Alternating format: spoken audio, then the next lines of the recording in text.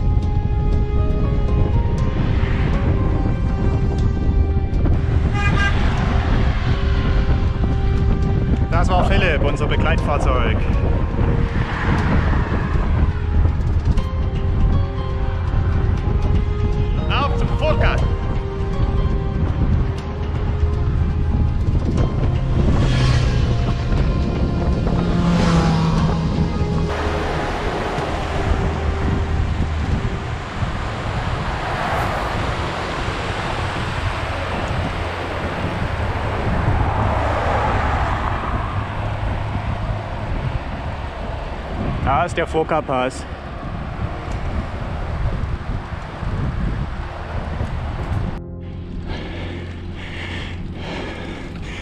...900 Höhenmeter auf 13 Kilometer. Irgendjemand atmet hier schwer.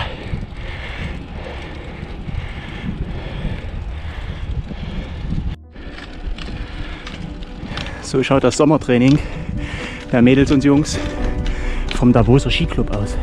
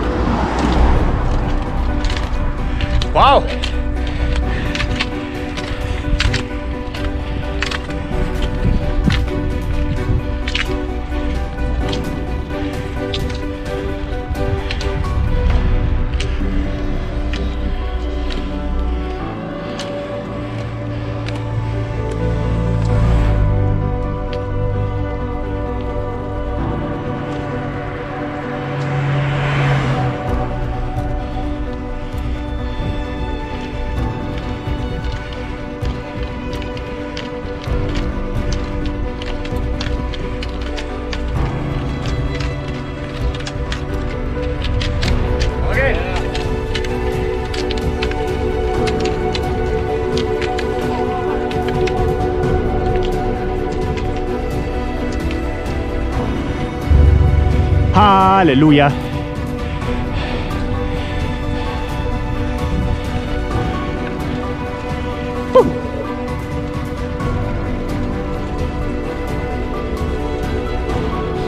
Kann ich das ab jetzt jeden Tag nach dem Frühstück haben? Oh Mann, gigantisch hier.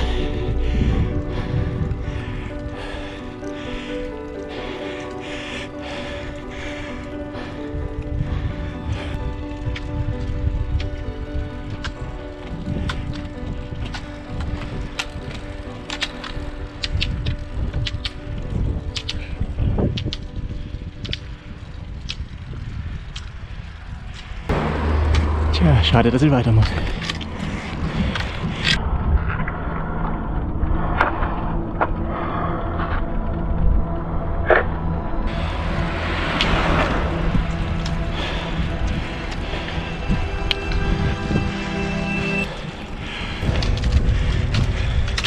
Hopp, Schwyz!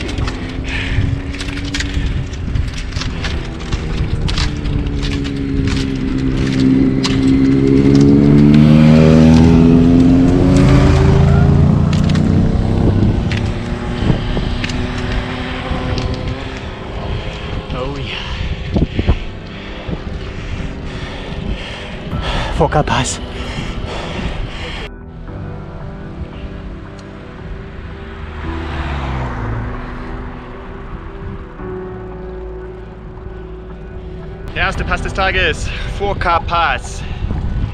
Made it!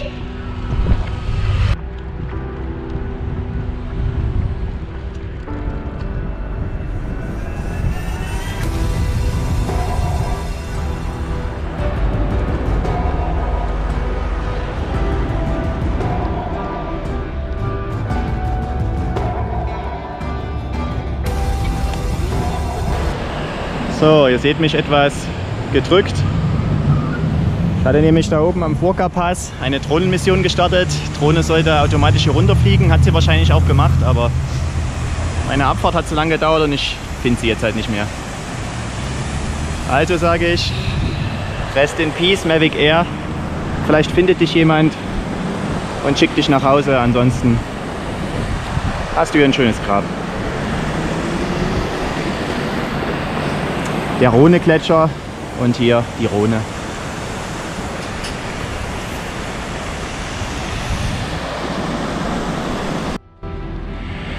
Auffahrt zum Grimselpass.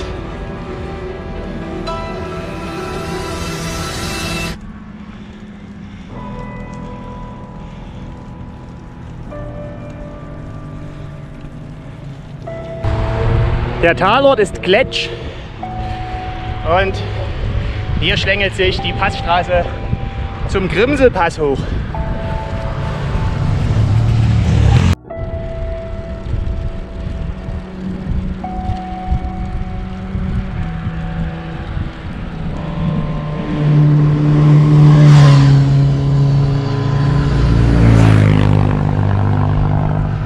Tja, vom Rhone-Gletscher ist nicht mehr viel übrig geblieben.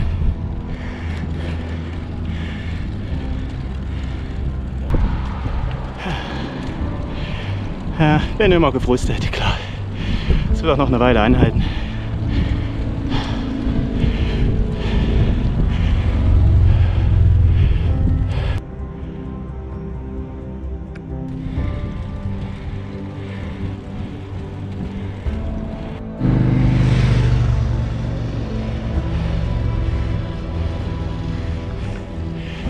Zweiter Pass, Punkt 11.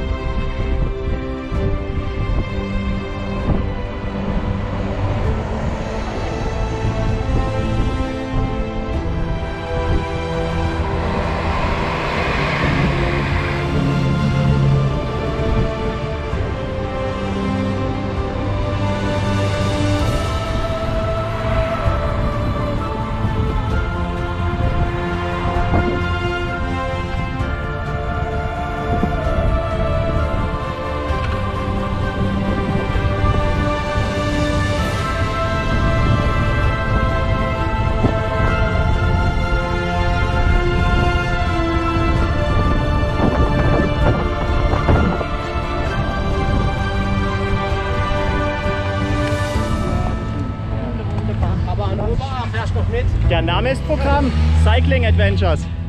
Yeah. Gemüse. Rein. Schön gemütlich.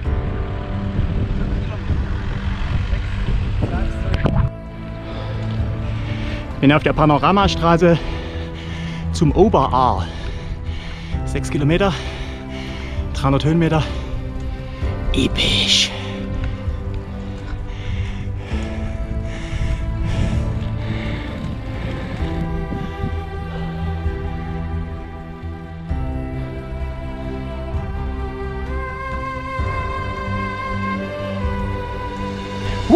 Woo, woo, woo. Das ist der Oberhammer.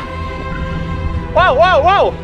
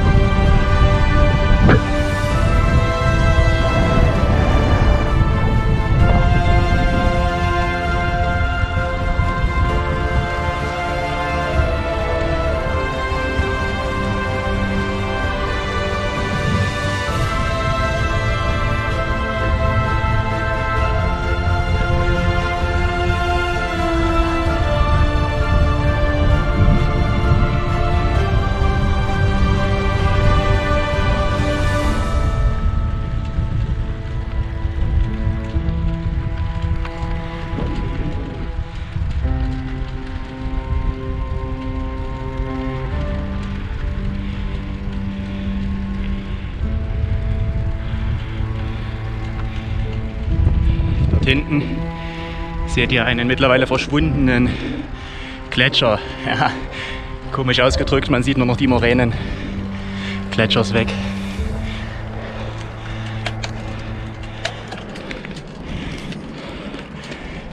Grüezi. Hi. Grüezi.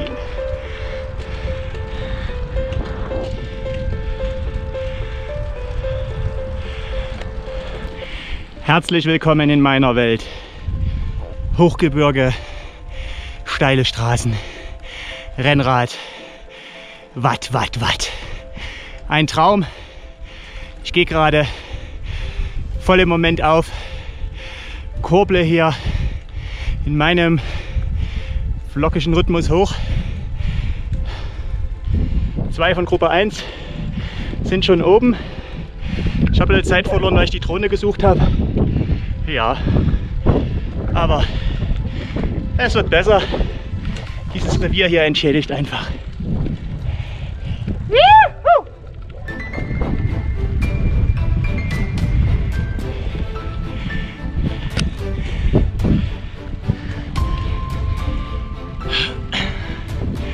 Go, go, go!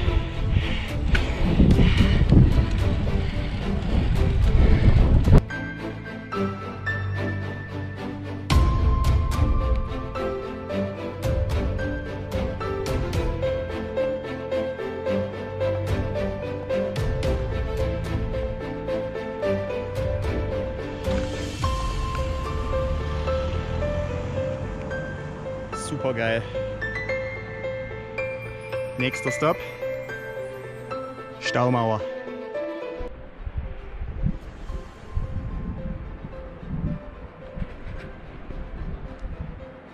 Am Oberaar. Immerhin noch mit einem kläglichen Gletscherrest.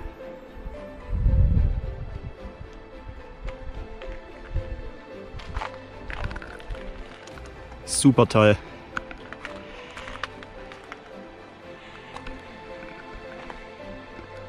Traumbike. Eingespieltes Team.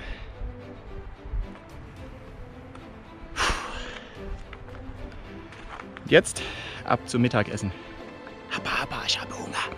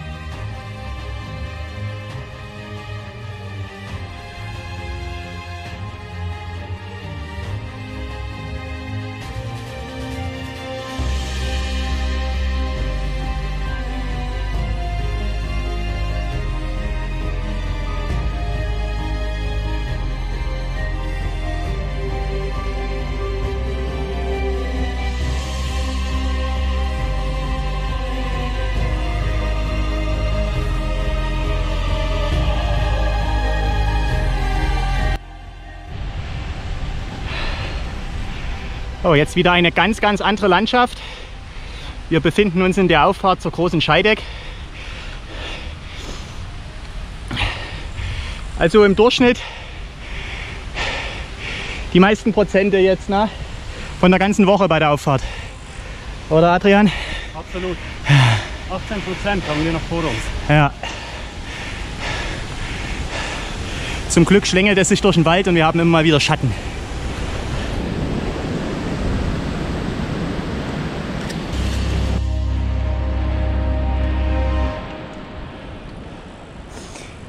Ja, wir kommen durch. Wir kommen durch, ganz genau.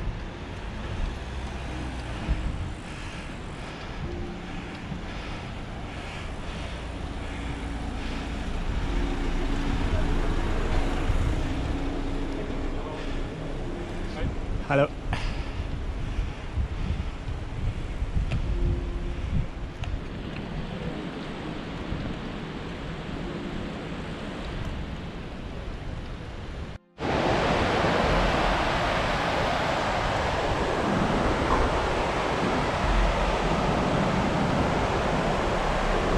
Hier jetzt kurz reinspringen, das wäre was. Aber wir haben ja noch einen Job zu erledigen.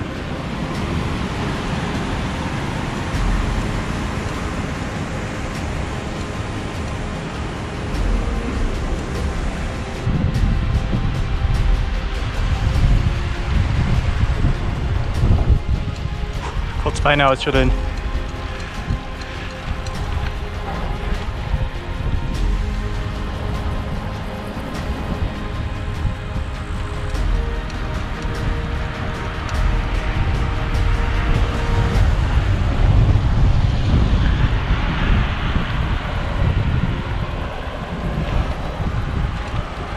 Drei, zwei, eins, bah!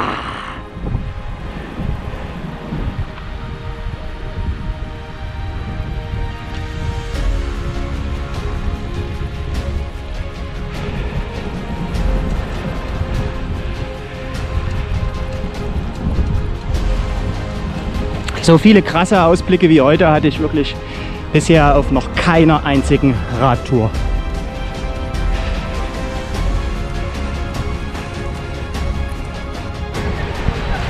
Eigentlich fehlt jetzt hier oben bloß noch Heidi. Der Rest ist schon da.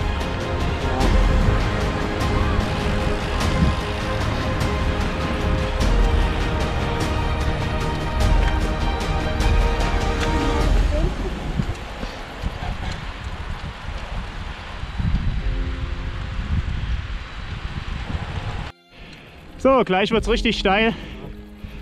Da genießen wir noch mal schnell den Ausblick. Ciao, ciao.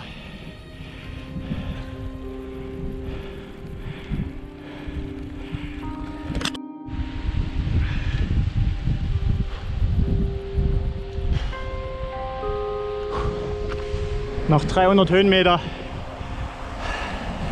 Dann ist das Tagesziel erstmal im Sack.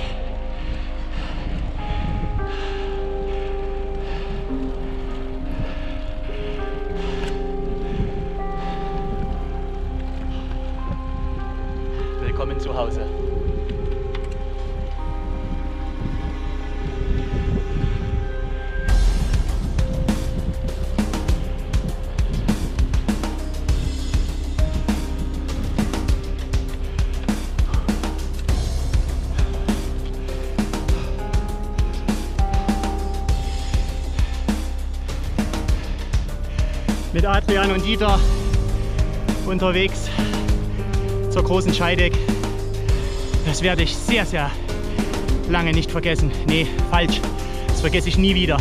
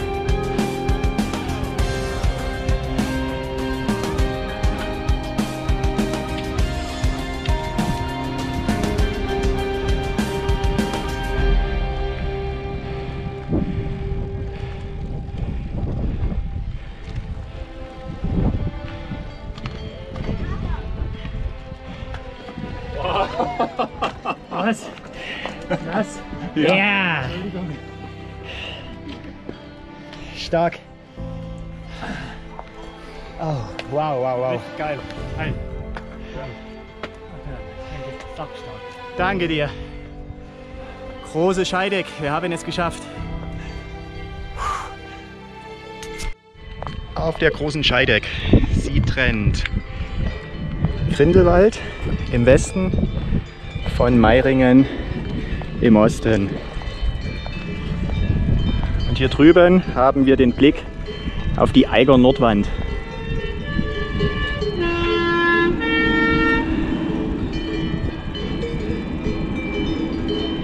Ich liebe diese Postbusse in der Schweiz, fantastisch. Und ich habe vorhin gelernt, dass ein Jahresticket, also man kann dann die komplette Schweiz mit dem Postbus abfahren, 3300 Franken kostet.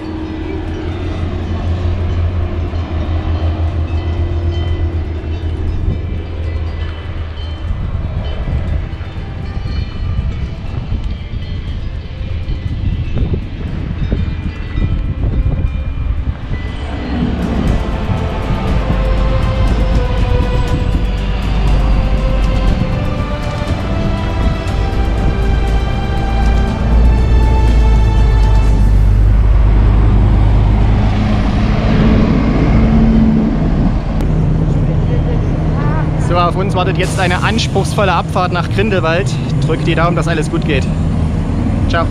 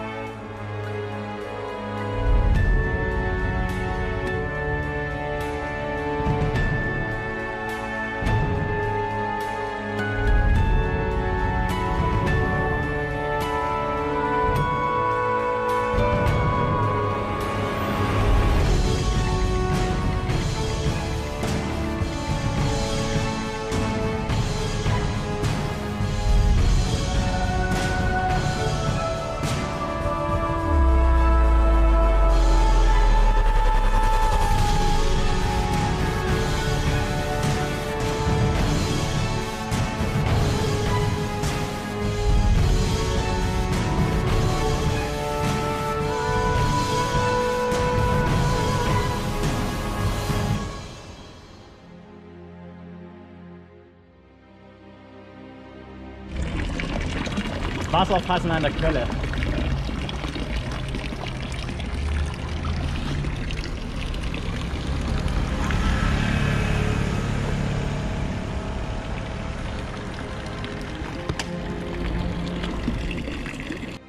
Touri Overkill in Interlaken.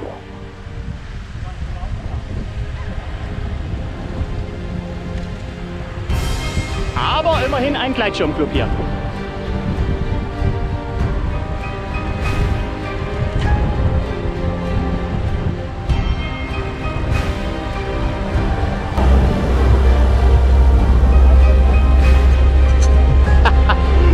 bloß weg.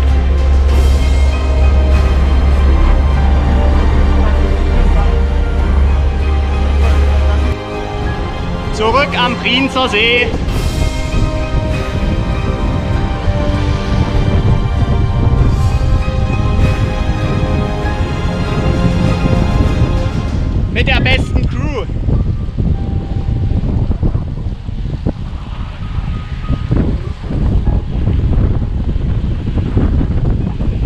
Eine Woche Schweiz-Rundfahrt nähert sich unweigerlich ihrem Ende. Leider, leider, leider. Ein Schotterweg führt zurück zum Ausgangspunkt unserer Tour.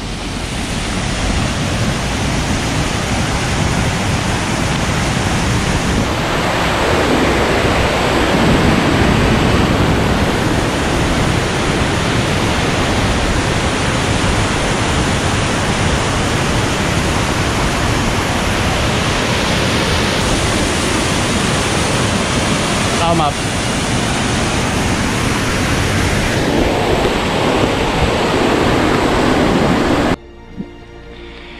So, offiziell ist unsere Rundreise beendet. Ich bin gerade mit Gruppe 1 unten am Grand Hotel gewesen, habe aber entschieden, noch ein bisschen Zeit für mich zu nehmen und hoch Richtung Axalp zu fahren. In Summe wären das nochmal 1000 Höhenmeter. Bin noch nicht sicher, ob ich es komplett fahre, aber ich will einfach noch nicht ja, das Radeln hier beenden. Es war eine zauberhafte Woche. Habe viel gelernt, auch über mich selbst. Neue Freunde gefunden. Ein paar Grenzen verschoben, Grenzen getestet. Und bin rundherum zufrieden. Okay, ich habe eine Drohne verloren. Bin dort vielleicht ein zu hohes Risiko eingegangen, aber letzten Endes ist es auch egal. Ich glaube, es gibt schlechtere Gräber als in der Nähe des Rhone-Gletschers. Und vielleicht habe ich ja auch Glück. Jemand findet sie und sendet sie zurück. Ich habe hier eine Plakette angebracht. Mal schauen. Bis später.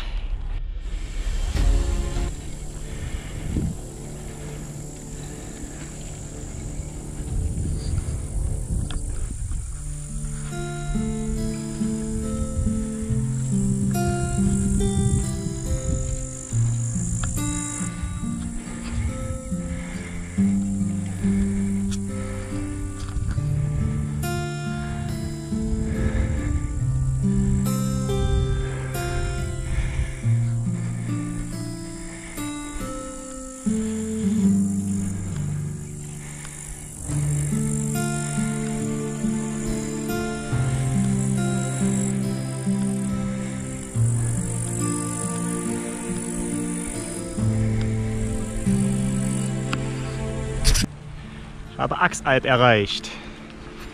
Quasi der Ort oberhalb des Grand Hotels.